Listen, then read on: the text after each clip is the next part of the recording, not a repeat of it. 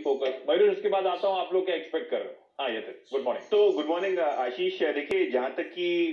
रिलायंस का सवाल है पाँच जो पॉइंट्स सबसे बड़े हैं उनमें सबसे पहले और सबसे टॉप मार्केट का एक्सपेक्टेशन है वैल्यू अनलॉकिंग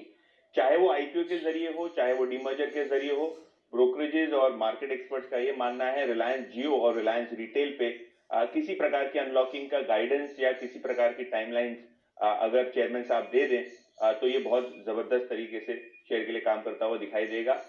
दो तीन एजीएम पहले मुझे याद है इन्होंने कहा था कि स्टेक सेल के ज़रिए वैल्यू अनलॉकिंग के ज़रिए आईपीओ के ज़रिए कुछ न कुछ इन दो इकाइयों में स्पेसिफिकली आपको होता हुआ दिखाई देगा। इसके अलावा अगर हम बात करें सबसे बड़ी चीज़ की वो है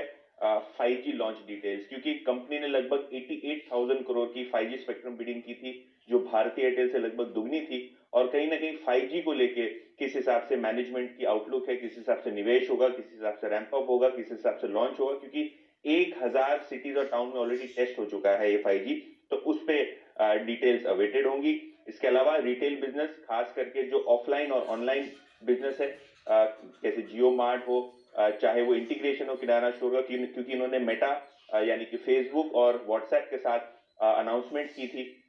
कि यहाँ इंटीग्रेशन होगा तो रिटेल बिज़नेस को कैसे रैंप अप किया जाए? पिछले एजीएम में रिटेल बिज़नेस को तीन गुना बढ़ाने का जो है विजन चेयरमैन साहब ने दिया था अगले तीन से चार साल में। इसके अलावा ग्रीन एनर्जी कारोबार, ये सबसे बड़ा है, क्योंकि यहाँ पचहत्तर हज़ार करोड़ का निवेश पिछले एजीएम में अनाउंस किया गया था। यहाँ किस हिसाब से प्रोजेक्ट चल रहे हैं एग्जीक्यूट हो रहे हैं? जामनगर में जो ग्रीन हाइड्रोजन इलेक्ट्रोलाइजर है, वहाँ कितना निवेश हुआ है अभी तक और किस हिसाब से वहाँ आपको इंप्रूवमेंट होता हुआ दिखाई देगा। वो एक गाइडेंस बचा रहेगा। और आखिर में ओटूसी बिज़नेस जो कंपनी का कैश काउ बिज़नेस है, क्योंकि ग्लोबल इकोनॉमिक सिनेरियो काफ़ी चेंज हो चुका है जियो क्राइसिस है गैस के दाम बढ़ रहे हैं तो इस व्यू में ओटूसी कारोबार का किस हिसाब से आगे चलता हुआ आपको जो है अर्निंग्स वाइज या व्यू वाइज वो चीज़ अभी काफ़ी इंपॉर्टेंट रहेगी इस एजीएम ये पाँच चीज़ें रखिए रडार पे। वैल्यू अनलॉकिंग 5G लॉन्च की डिटेल्स रिटेल का रैंप अप ग्रीन एनर्जी के फर्दर पुश या अपडेट्स और ओटीसी रिलेटेड बिज़नेस के ऑयल टू केमिकल्स बिज़नेस का आउटलुक और आज सीडीएसए की रिपोर्ट रिलायंस इंडस्ट्रीज़ पे बाय की रेटिंग 3180 के टारगेट्स के साथ। ठीक है? लेकिन वीरू, अब,